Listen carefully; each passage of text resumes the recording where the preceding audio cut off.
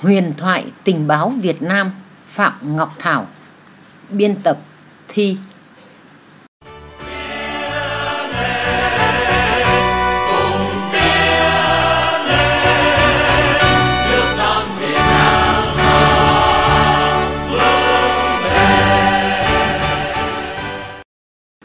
Phạm Ngọc Thảo sinh năm 1922, mất năm 1965 là một cán bộ tình báo của Quân đội Nhân dân Việt Nam, hoạt động tình báo trong quân lực Việt Nam Cộng Hòa. Ông là người có nhiều ảnh hưởng chính trị và cũng là một thành viên chủ chốt trong hai cuộc đảo chính bất thành ở Việt Nam Cộng Hòa vào những năm 1964-1965. Sinh ngày 14 tháng 2 năm 1922 tại Sài Gòn, nguyên quán Vĩnh Long, có tài liệu là Bến Tre trong một gia đình công giáo toàn tòng. Cha ông là Adrian Phạm Ngọc Thuần, một địa chủ lớn có quốc tịch Pháp. Ông Adrian Phạm Ngọc Thuần có tới hơn 400.000 mẫu đất và gần 1.000 căn nhà giải rác khắp các tỉnh Cần Thơ, Châu Đốc, Long Xuyên, Rạch Giá, Sa Đéc, Vĩnh Long. Ông Thuần có quốc tịch Pháp nên các con đều sang Pháp học. Phạm Ngọc Thảo còn có tên là Albert Phạm Ngọc Thảo, còn gọi là Albert Thảo, Chín Thảo. Phạm Ngọc Thảo học tại một trường tư thục công giáo nổi tiếng ở Sài Gòn. Các anh chị em trong nhà đều du học bên Pháp, nhưng do chiến tranh thế giới thứ hai xảy ra, ông ra Hà Nội học trường kỹ sư công chính Hà Nội.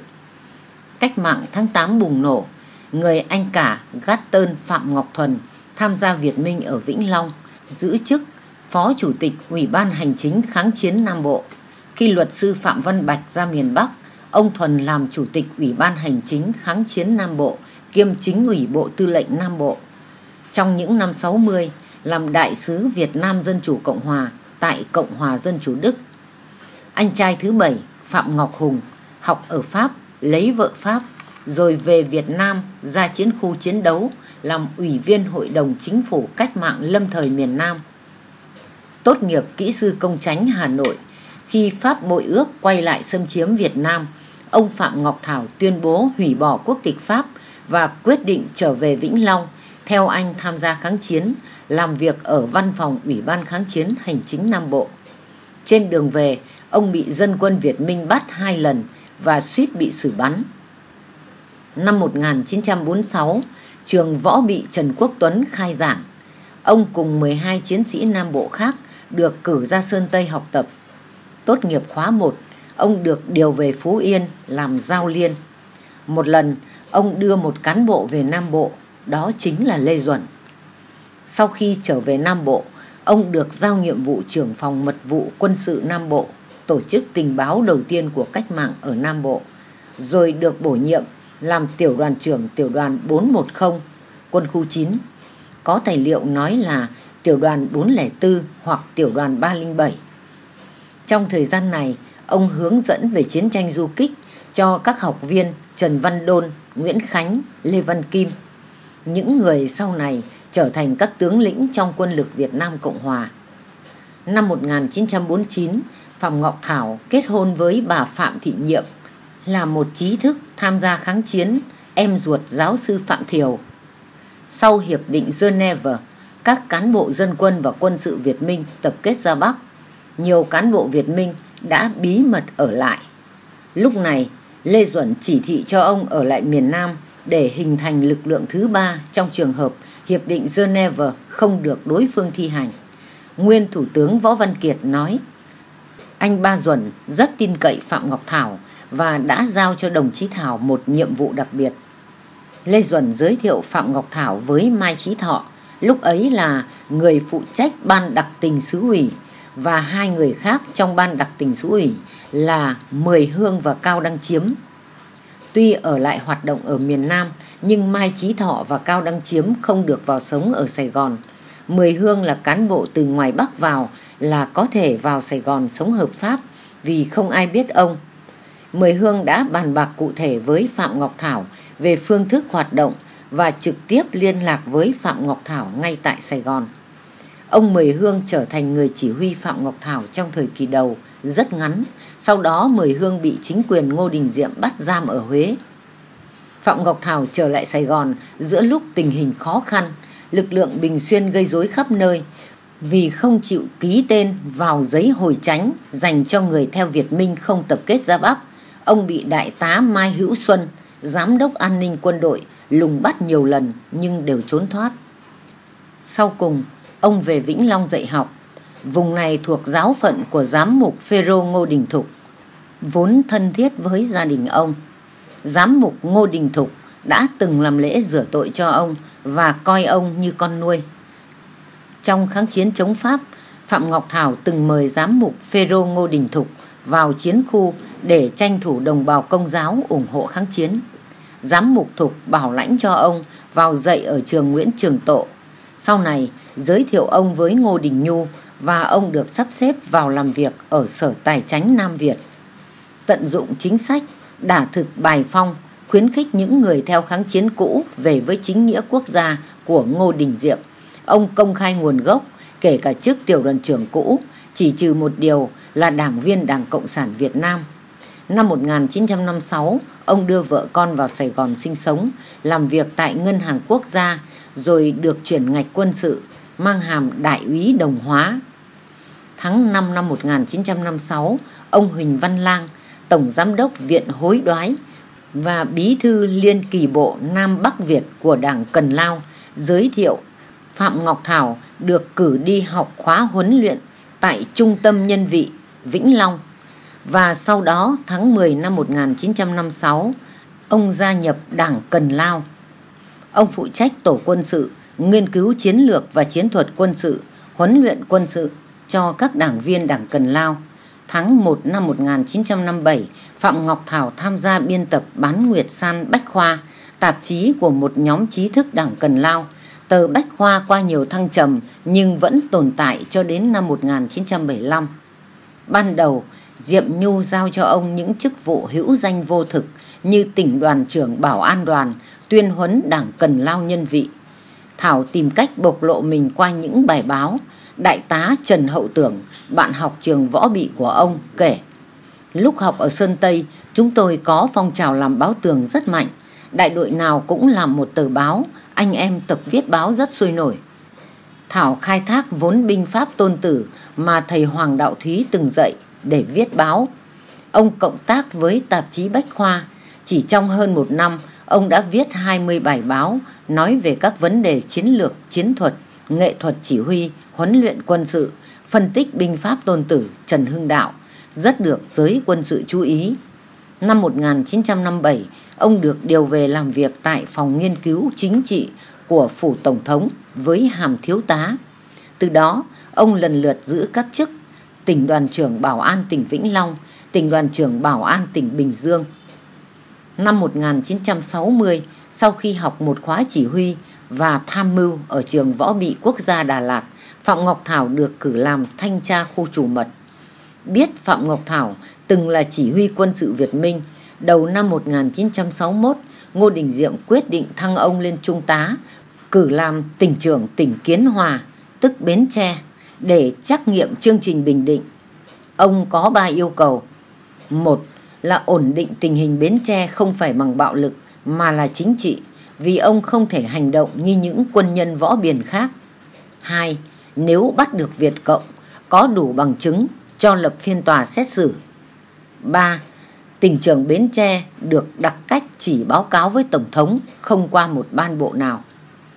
Ngô Đình Diệm chấp thuận cả ba yêu cầu về làm tỉnh trưởng Bến Tre một thời gian, ông ký quyết định thả 2.000 tù nhân chính trị đang bị giam giữ.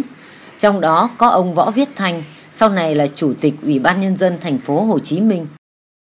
Phạm Ngọc Thảo liên lạc với bà Nguyễn Thị Định, tạo điều kiện cho khởi nghĩa Bến Tre bùng nổ và lập tòa án trừng trị bọn phản bội đầu hàng. Chính sách không cho binh lính đàn áp dân chúng tùy tiện của Phạm Ngọc Thảo đã bật đèn xanh cho phong trào đồng khởi sau này nhiều phản ứng của chính quyền và quân đội Sài Gòn đều bị Phạm Ngọc Thảo bác bỏ rằng Ngô Đình Diệm thí nghiệm một luận thuyết mới, luận thuyết nhân dân, phải có thì giờ để kiểm nghiệm. Có nhiều tố cáo nghi ngờ ông là cộng sản nằm vùng. ông bị ngưng chức tỉnh trưởng Kiến Hòa sang Hoa Kỳ học về chỉ huy và tham mưu. Năm 1962, Phạm Ngọc Thảo được bổ nhiệm làm thanh tra ấp chiến lược trực thuộc Phủ Tổng thống. Làm tỉnh trưởng bị ám sát nhầm. Ngày Quốc khánh Việt Nam Cộng Hòa 26 tháng 10 năm 1961, một cuộc meeting lớn biểu dương lực lượng được tổ chức tại quảng trường An Hội, khu vườn hoa ba con chim câu bây giờ. Đặng Quốc Tuấn, sau này là tỉnh ủy viên, bí thư tỉnh đoàn, giám đốc đài phát thanh truyền hình tỉnh Bến Tre, lúc đó 17 tuổi, đang học đệ tam, lớp 10, cùng với đồng đội tên Thiều, có nhiệm vụ phá hoại buổi meeting này. Mỗi ông cầm một trái lựu đạn MK2, còn lại ba lựu đạn để ở nhà ông Thiều. Theo bàn bạc, ông Thiều ném lựu đạn trước, ông Tư Tuấn ném tiếp theo, xong chạy về tập kết tại nhà ông Thiều ở thị xã. Tuy nhiên, không có quả lựu đạn nào nổ. Hai ông định quay về nhà lấy thêm ba trái lựu đạn còn lại thì bị bắt. Một tuần sau khi hai ông bị bắt, ông Thảo có đến gặp ông Tuấn và ông Thiều. Lần đó, một cố vấn Mỹ thẩm vấn, ông Thảo làm phiên dịch hỏi Tại sao là học sinh mà đi ám sát tỉnh trưởng ngay tại ngày quốc khánh? Có phải Cộng sản giao việc không? Ai là người giao việc? Trả lời, do chính quyền độc ác, đàn áp ức hiếp hại dân, chúng tôi học tập gương của Phạm Hồng Thái, Nguyễn Thái Học, đứng lên đấu tranh, không liên quan gì tới Cộng sản, không có ai giao việc cả. Ông Thảo dịch như thế nào, ông Tư Tuấn không biết. Chỉ nghe ông Thảo nói với hai ông, các em còn nhỏ, phải lo chuyện học hành, chính trị là chuyện của người lớn, sau này lớn lên muốn làm gì thì làm.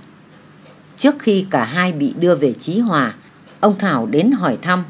Hai ông bị kết án mỗi người 20 năm tù, sau đó đưa ra côn đảo. Ông Thiều được trao trả năm 1973, thoát ly lên chiến khu, sau giải phóng làm cán bộ ban tổ chức thành ủy thành phố Hồ Chí Minh, qua đời năm 1984, còn ông Tư Tuấn đến ngày giải phóng mới về. Những năm 1988, 1989, bà Phạm Thị Nhiệm Phu nhân ông Thảo định cư ở Mỹ có về thăm tỉnh Bến Tre và An Giang. Bà đã gặp lại Đặng Quốc Tuấn trong chuyến thăm tại Dinh tỉnh trưởng. Bà Phạm Thị Nhiệm hỏi thăm ông Tuấn rồi bảo gửi cho bà tấm ảnh khi còn là học sinh kiến hòa để về treo bên cạnh ảnh ông Phạm Ngọc Thảo làm kỷ niệm. Bà nói, hồi đó ông Thảo vẫn thường nhắc chúng mày Lúc bị ném lựu đạn, ông Thảo chụp trái lựu đạn đang xỉ khói, lúng túng không biết xử lý làm sao. Nếu liệng ra bên ngoài thì chết dân. Liệng bên phải, bên trái thì chết dàn thiếu nhi nhà thờ. Đang không biết làm sao thì thấy khói dần dần mỏng ra. Ông biết lựu đạn lép nên nắm chặt luôn. Trong những năm 1962-1963, phong trào đồng khởi lan rộng. Biết trước sau gì Tổng thống Ngô Đình Diệm cũng bị người Mỹ lật đổ để dựng lên một chính quyền nguy hiểm hơn. Phạm Ngọc Thảo cùng với Trần Kim Tuyến và giáo sư Huỳnh Văn Lang lên một kế hoạch đảo chính với mục tiêu đổi chế độ nhằm vô hiệu hóa ý đồ của Mỹ. Đảo chính lần thứ nhất Tháng 9 năm 1963, Trần Kim Tuyến, nguyên giám đốc sở nghiên cứu chính trị, thực chất là chủ mật vụ, và Phạm Ngọc Thảo, âm mưu một cuộc đảo chính. Theo kế hoạch, vẫn giữ Ngô Đình Diệm làm tổng thống, buộc Ngô Đình Nhu ra nước ngoài. Kế hoạch bị lộ. Ngày 6 tháng 9 năm 1963, Tổng thống Diệm đã cử Trần Kim Tuyến đi làm tổng lãnh sự tại Ai Cập. Ngô Đình Nhu không tin Phạm Ngọc Thảo tham gia kế hoạch này vì Thảo không có quân và Thảo không thể phản bội. Thực ra, lúc đó Phạm Ngọc Thảo đã kêu gọi được một số đơn vị như Quân đoàn 3, Quân đoàn 4, biệt động quân, bảo an, hậu thuẫn. Cuộc đảo chính không thành, chủ yếu do không được Mỹ ủng hộ, thành phần đảo chính là những người mà Mỹ không nắm được. Ngày mùng 1 tháng 11 năm 1963, chính quyền Ngô Đình Diệm bị lật đổ bởi một nhóm tướng lĩnh do Mỹ ủng hộ bật đèn xanh. Hội đồng quân nhân cách mạng do tướng Dương Văn Minh đứng đầu lên cầm quyền. Phạm Ngọc Thảo dù không chủ động tham gia cuộc đảo chính này nhưng vẫn được lên chức đại tá, làm tùy viên báo chí trong Hội đồng Quân nhân Cách mạng, sau đó được cử sang Mỹ tu nghiệp. Một thời gian sau, ông được cử làm tùy viên văn hóa của Tòa Đại sứ Việt Nam tại Mỹ. Sau đó, ông được tướng Nguyễn Khánh mời làm phát ngôn viên báo chí trong Hội đồng Quân nhân Cách mạng. Tháng 10 năm 1964, Trần Thiện Khiêm được bổ nhiệm làm Đại sứ Việt Nam Cộng Hòa tại Mỹ. Ông được cử làm tùy viên báo chí và quân sự của Sứ quán Việt Nam Cộng Hòa. Ông đưa luôn vợ con sang, họ định cư ở Mỹ cho đến ngày nay. Đảo chính lần thứ hai Đầu năm 1965, Phạm Ngọc Thảo bị gọi về nước vì chính quyền Sài Gòn đã nghi ngờ muốn bắt ông. Nguyễn Khánh ra lệnh triệu hồi Phạm Ngọc Thảo về nước với ý đồ sẽ bắt ông tại sân bay Tân Sơn Nhất. Phạm Ngọc Thảo không về đúng giờ bay dự định nên thoát. Ông đào nhiệm và bí mật liên lạc với các lực lượng đối lập khác để tổ chức đảo chính ở Sài Gòn vì một lý do vô cùng quan trọng. Theo một tài liệu mà ông nắm được, Mỹ và Nguyễn Khánh đã thỏa thuận sẽ ném bom xuống miền Bắc vào ngày 20 tháng 2 năm 1965. Vì vậy, cuộc đảo chính sẽ tiến hành đúng ngày 19 tháng 2 với tên gọi là Chiến dịch Nguyễn Huệ. Ngày 19 tháng 2 năm 1965, Phạm Ngọc Thảo cùng Thiếu tướng Lâm Văn Phát, Đại tá Bùi Dinh và Trung tướng Lê Hoàng Thao đem quân gồm các đơn vị thiết giáp với 45 xe tăng và thiết giáp, các đơn vị địa phương quân, lực lượng của trường bộ binh Thủ Đức và chủ yếu là Trung đoàn 46 thuộc Sư đoàn 25 Bộ binh và xe tăng vào chiếm trại Lê Văn Duyệt, đài phát thanh Sài Gòn, bến Bạch Đằng và sân bay Tân Sơn Nhất. Tướng Nguyễn Khánh được Nguyễn Cao Kỳ cứu thoát bằng máy bay ra Vũng Tàu. Mục tiêu quan trọng nhất là bắt sống Nguyễn Khánh đã không thực hiện được. Trong tờ Việt Tiến, in journal, phát bí mật với bút hiệu Lê Minh, Đại tá Phạm Ngọc Thảo viết Chúng tôi vì không muốn đổ máu mà hơn nữa ngay từ phút đầu đã thấy có sự chia rẽ và tranh giành nhau nên tôi đã ra lệnh chấm dứt cuộc chính biến vào lúc 20 giờ ngày 19 tháng 2 và coi như 20 giờ làm chủ thủ đô đã chấm dứt. Ngày 20 tháng 2 năm 1965, Nguyễn Văn Thiệu, Nguyễn Cao Kỳ và một số tướng lãnh được sự hậu thuẫn của người Mỹ đã tổ chức hội đồng các tướng lĩnh họp ở Biên Hòa. Các tướng cử Nguyễn Chánh Thi làm chỉ huy chống đảo chính và ra lệnh cho Phạm Ngọc Thảo, Lâm Văn Phát và 13 sĩ quan khác phải ra trình diện trong 24 giờ.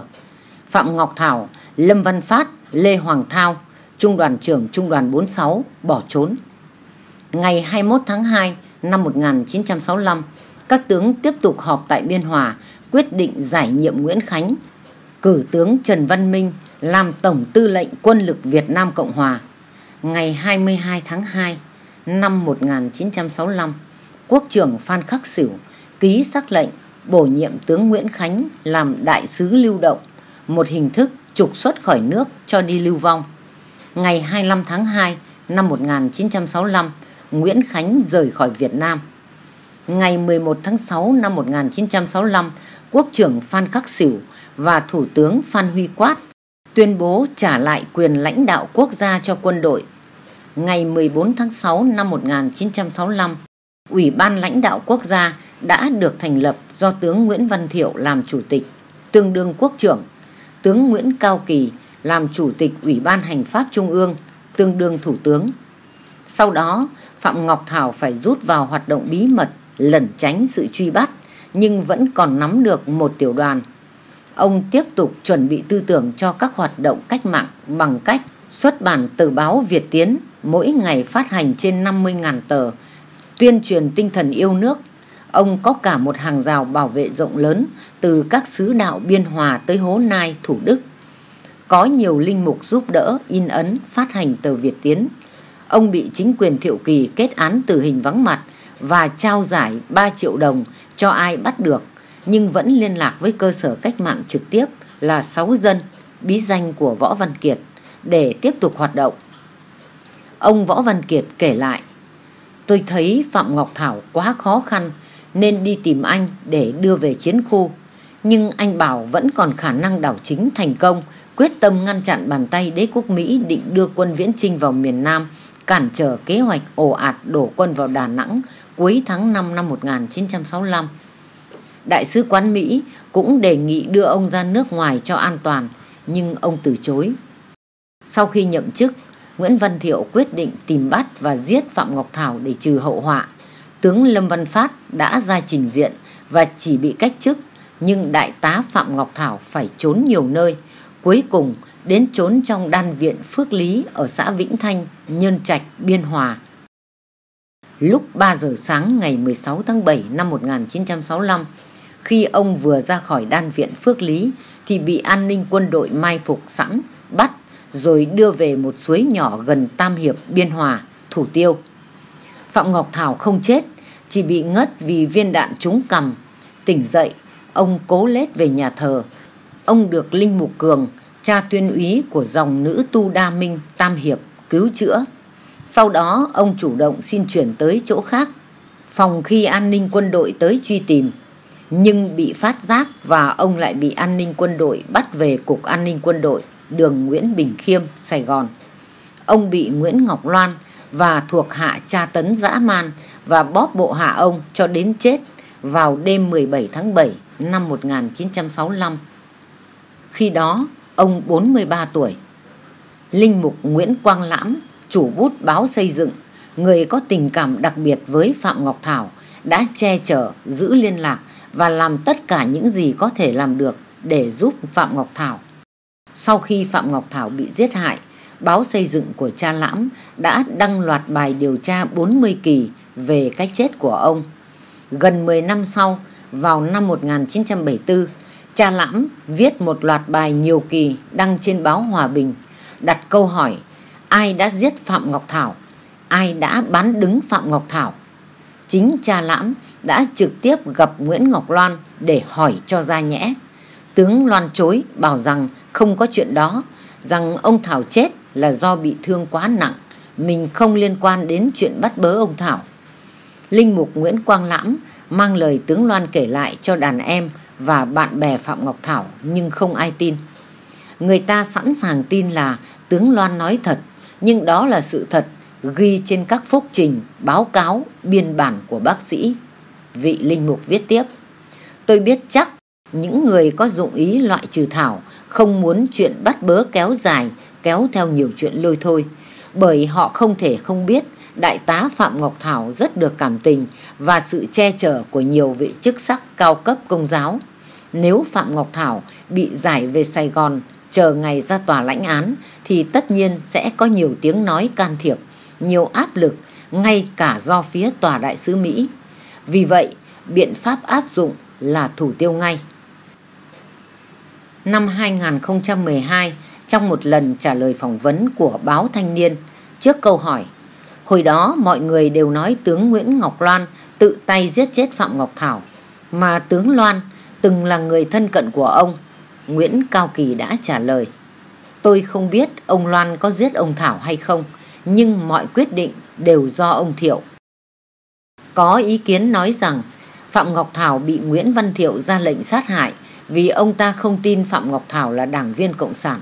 Nếu tin Phạm Ngọc Thảo là đảng viên Cộng sản thì Nguyễn Văn Thiệu sẽ không giết Phạm Ngọc Thảo. Bởi kinh nghiệm từ các cuộc đảo chính lật đổ Ngô Đình Diệm, Nguyễn Văn Thiệu không cảm thấy lo sợ những người Cộng sản bằng một người không Cộng sản được Mỹ và giáo hội công giáo hậu thuẫn để làm đảo chính lật đổ ông ta. Những năm ấy, rất ít người biết Phạm Ngọc Thảo là một nhà tình báo, người ta chỉ biết ông là một sĩ quan có khả năng chính trị và ngoại giao. Sau ngày Việt Nam thống nhất, nhiều đồng đội đã vô cùng chua xót khi thấy mộ của ông vẫn chỉ là nấm mộ vô danh. Rất nhiều nước mắt xúc động, cảm thương của những người chiến binh già đã rơi khi kể lại câu chuyện về ông. Năm 1987, nhà nước Việt Nam truy tặng ông danh hiệu liệt sĩ quân hàm Đại tá Quân đội Nhân dân Việt Nam, danh hiệu Anh hùng lực lượng vũ trang nhân dân. Hiện nay, mộ Phạm Ngọc Thảo được đưa về Nghĩa Trang thành phố Hồ Chí Minh trên đồi Lạc Cảnh, quận Thủ Đức. Mộ ông nằm cạnh mộ những tên tuổi nổi tiếng như Lưu Hữu Phước, Phạm Ngọc Thạch, Can Trường. Vì sao mãi tới 12 năm sau ngày hòa bình, nhà nước Việt Nam mới chính thức công nhận liệt sĩ và phong anh hùng cho Phạm Ngọc Thảo? Ông Mười Hương nói, Phong anh hùng 10 lần cho Phạm Ngọc Thảo cũng xứng đáng, nhưng chưa thể được vì vợ con Thảo còn ở Mỹ. Khi chiếu phim Ván bài lật ngửa, tôi gọi cho ông Trần Độ, lúc ấy là trưởng ban văn hóa trung ương, bảo hãy cấm cái phim đó đi, đừng làm hại vợ con Phạm Ngọc Thảo. Ông Phạm Xuân Ẩn nói, sau khi Phạm Ngọc Thảo bị giết chết, chính quyền Nguyễn Văn Thiệu đã đề nghị chính quyền Mỹ trục xuất vợ con ông Thảo. Lúc đó ở Mỹ có một cuộc vận động bảo vệ vợ con ông Thảo, ngay cả những nhà báo Mỹ chống cộng cũng phản đối sự trục xuất này. Vì vậy mà vợ con ông Thảo vẫn bình an vô sự cho đến bây giờ. Ngày 28 tháng 8 năm 2015, tỉnh ủy Bến Tre tổ chức trọng thể lễ công bố quyết định của Bộ Văn hóa, Thể thao và Du lịch về xếp hạng di tích quốc gia đối với nơi ở và hoạt động của Đại tá tình báo Phạm Ngọc Thảo, dinh tỉnh trường cũ, sau là nhà bảo tàng tỉnh. Tọa lạc tại số 146 Hùng Vương, phường 3, thành phố Bến Tre, tỉnh Bến Tre. Phạm Ngọc Thảo được coi là một trong bốn tình báo viên xuất sắc nhất của quân đội nhân dân Việt Nam. Phạm Xuân Ẩn, Vũ Ngọc Nhạ và Lê Hữu Thúy. Một số người còn cho ông là điệp viên xuất sắc nhất bởi ba đặc điểm chính. Phạm Ngọc Thảo là tình báo viên hoạt động đơn tuyến, không có đồng đội trực tiếp hỗ trợ, chỉ chịu sự chỉ đạo về chiến lược của Lê Duẩn. Nhiệm vụ của ông không phải là đưa tin mà là tác động đến sự thay đổi chế độ. Có thể nói tầm quan trọng của Phạm Ngọc Thảo ngang với sức mạnh một đạo quân. Khác với các tình báo viên thông thường, Phạm Ngọc Thảo là người có thể tác động trực tiếp đến chính quyền và quân đội. Là sĩ quan cao cấp trong quân lực Việt Nam Cộng Hòa, ông có tác động, thậm chí trực tiếp đạo diễn và tham gia chỉ đạo hàng loạt vụ đảo chính làm dung chuyển, gây mất ổn định chính quyền Nam Việt Nam những năm 1964-1965. Trong cuộc tranh giành quyền lực giữa các phe phái quân đội, Phạm Ngọc Thảo bị xem là đối tượng nguy hiểm và bị đe dọa tính mạng bất cứ lúc nào. Dù vậy, ông vẫn tiếp tục nhiệm vụ mà không trốn chạy để bảo toàn mạng sống. Thậm chí cả khi bị bắt và tra tấn đến chết, Phạm Ngọc Thảo vẫn không lộ tung tích của mình. Mãi sau này, khi ông được truy phong, người ta mới biết ông là tình báo viên. Hai ông bà Phạm Ngọc Thảo và Phạm Thị Nhiệm có bảy người con. Vợ ông từng đi dạy học, vợ và con ông hiện đang ở Hoa Kỳ. Tất cả các con ông đều học hành thành tài, có người là bác sĩ. Trong dòng đề tựa, cuốn ván bài lật ngửa, nhà văn Trần Bạch Đằng với bút danh Nguyễn Trương Thiên Lý đã trân trọng viết Tưởng nhớ anh Chín t và những người đã chiến đấu hy sinh thầm lặng. Ông đã sử dụng chính hình tượng của Phạm Ngọc Thảo để xây dựng nhân vật Nguyễn Thành Luân trong tiểu thuyết của mình. Tiểu thuyết này sau được dựng thành phim rất ăn khách. Vai Nguyễn Thành Luân do diễn viên nghệ sĩ ưu tú Nguyễn Chánh Tín đảm nhiệm. Ông Trần Bạch Đằng nhận xét, các nhà tình báo thông thường có nhiệm vụ giấu mình, thu thập, khai thác tin tức chuyển về trung tâm. Riêng Phạm Ngọc Thảo đi thẳng vào hàng ngũ thù, tung hoành hoạt động vì Tổ quốc cho tới tận lúc hy sinh trường kỳ mai phục và độc lập tác chiến. Anh là nhà tình báo đặc biệt, có một không hai. Nguyên Thủ tướng Võ Văn Kiệt nói, anh Phạm Ngọc Thảo đã nhận một nhiệm vụ đặc biệt, chưa từng có tiền lệ trong công tác cách mạng của chúng ta. Hiện nay, tên ông được đặt cho các con đường ở quận 8 Tân Phú, thành phố Hồ Chí Minh, Đồng Xoài, tỉnh Bình Phước, thành phố Bến Tre, Tân Biên, tỉnh Tây Ninh. Win Win Việt Nam trân trọng cảm ơn quý vị và các bạn đã quan tâm theo dõi. Xin kính chào và hẹn gặp lại.